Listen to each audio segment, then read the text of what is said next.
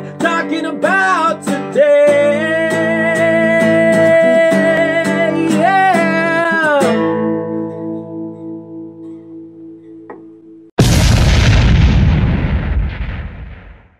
Hello, everybody. Welcome to another What Are We Talking About review. Today, we're talking about the book Replay by Ken Grimwood. Uh, it was first published back in 1986.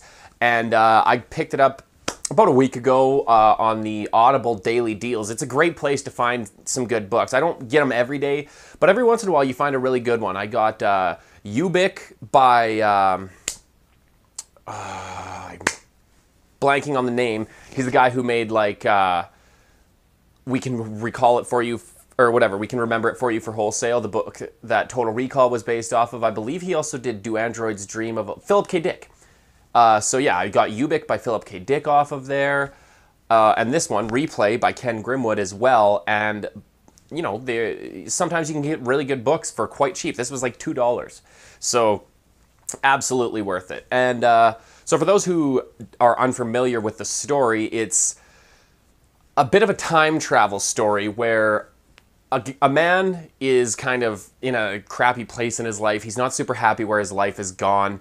And all of a sudden, he like answers the phone. His wife says, "We need," and he di- he has a heart attack and dies after those two words. Like that's the last two words he ever hears.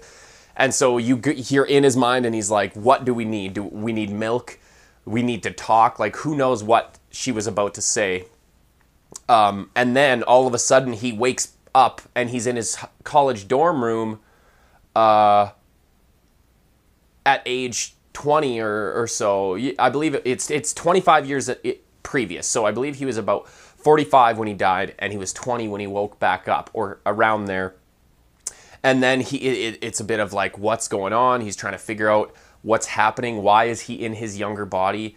is is he just dreaming? Was all of the rest of his life just a dream? Like what's going on? It, and it takes him a while to f- figure out that he's kind of reliving the past, and he's able to take advantage. Similarly to um, Hot Tub Time Machine, where they go back in time and then they're able to use their knowledge of the future to benefit financially.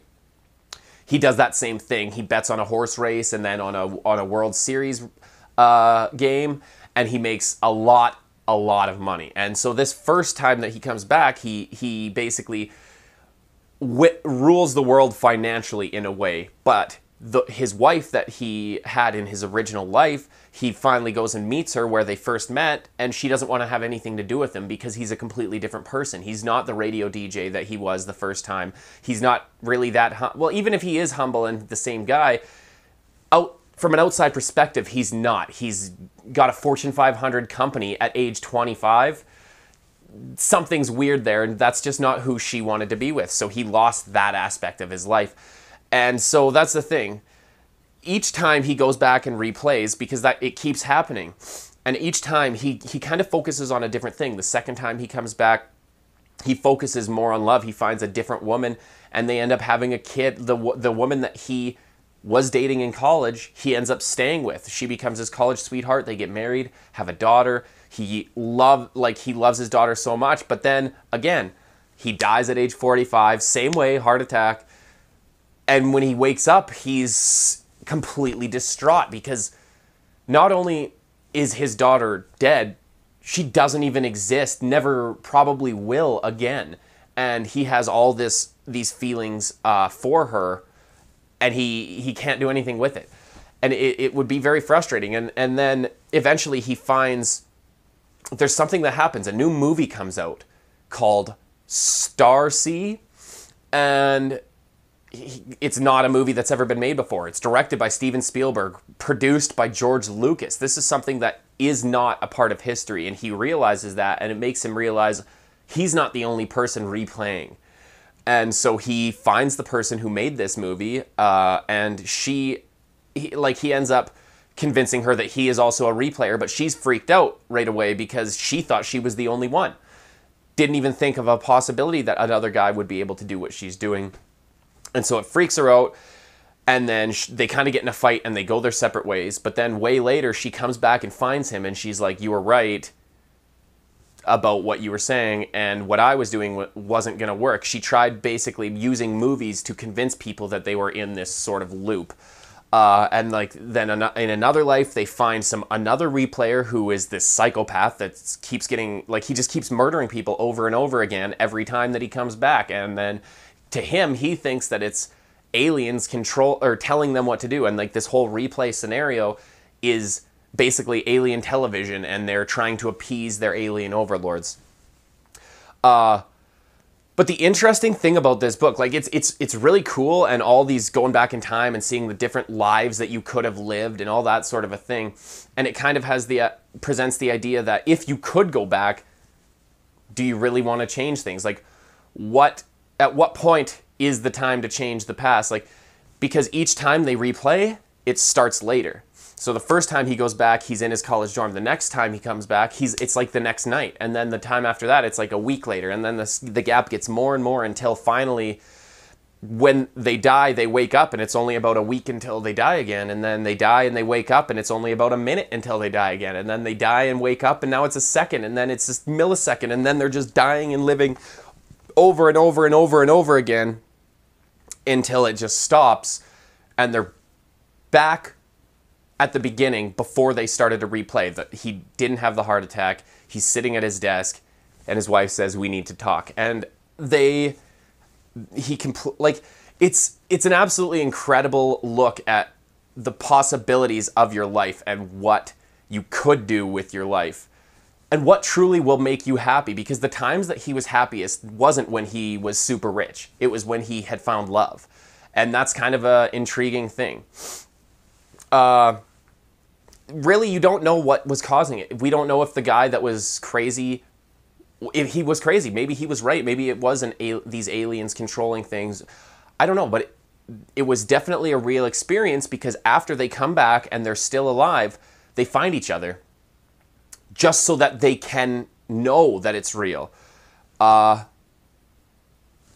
and it's it's a really cool story that is incredibly interesting and it's a really cool take on the whole time travel thing. It's not a true time travel story. You don't really know what was real. Maybe that whole experience they had, they had some sort of a shared mental experience, but it could have all been a dream. We don't really know, but it definitely changed who they are and it it made them appreciate life more because the most important thing that this book sh- talks about is the idea that currently every single human being does this. They say, I want to reach this dream, but don't worry, I've got time. And they have that same problem because they knew, oh, we'll just replay, we'll come back. We can do it next next replay. It'll be fine. But then eventually you have done all your replays and now there's nothing and now you're dead and now you you have so many regrets. And the thing that this book I think personally that I took away from it that I think it's trying to present is the idea that you might not have tomorrow. So try and do what you want to do today. Because in the end, you don't want to be uh, die an old man full of regret. You want or an old woman full of regret. You want to have lived. You want to know on your deathbed that if you die tomorrow, you don't want to die knowing that you did not do what you wanted to do. So the important thing in life is you know, follow your heart, follow your dreams, and make sure that you do what you want to do. Don't put it off until tomorrow because there might not be a tomorrow. And I know that's a little bit dark and gruesome, but it's true. And if you think about it in a positive way, you could just get so much more done and live so much more of a fulfilling life by just taking charge and doing what don't don't procrastinate. That's kind of the, the the theme of the book. Don't procrastinate. Do what you think you need to do because you never know if this is your last replay. But overall, I'm going to score this book. You know, I'm going to give it a solid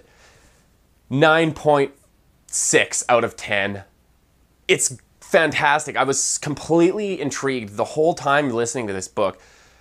Like, I just listened to it pretty much from start to finish because it was so interesting. And the the it was incredibly well written and there's lots of good pop culture references that keep you intrigued and just the story itself was awesome. And right when you think you have it figured out, there's another thing that gets thrown in there, and you're like, oh, maybe I was wrong, or maybe I was right.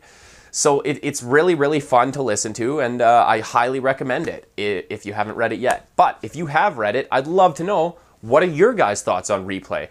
Uh, what do you think the author was trying to? What what was the message that he was trying to tell you, tell us with this book?